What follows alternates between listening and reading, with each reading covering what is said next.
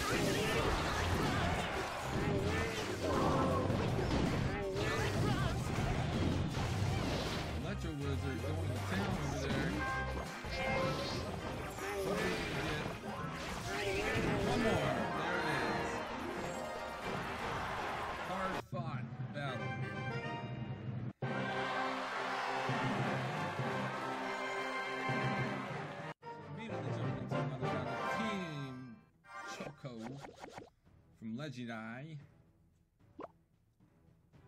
Gonna try to get the aggressive pump up front. Sparky deck. Looks like we might just try to go for hog push over here.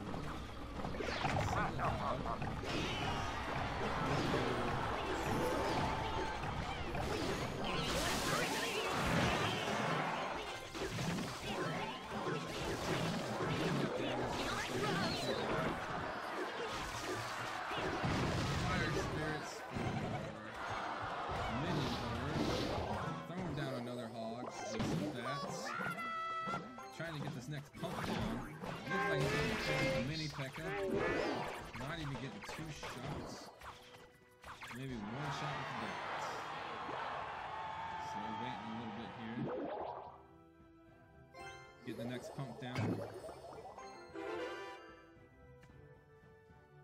Hopefully, that'll give us enough to get an elixir advantage. I kind of want to get one more pump down before we send out the three muskies. So we will send this out right now. Showtime! Freezes everything.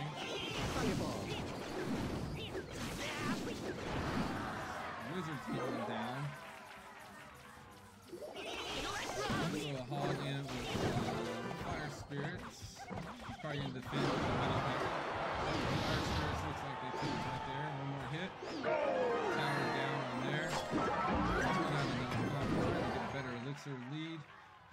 Into overtime.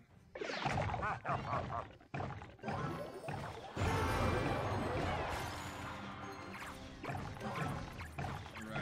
Sending the three muskets. Get some fire spirits over here. Fire spirits did a decent job there. We're gonna throw in a goblin gang.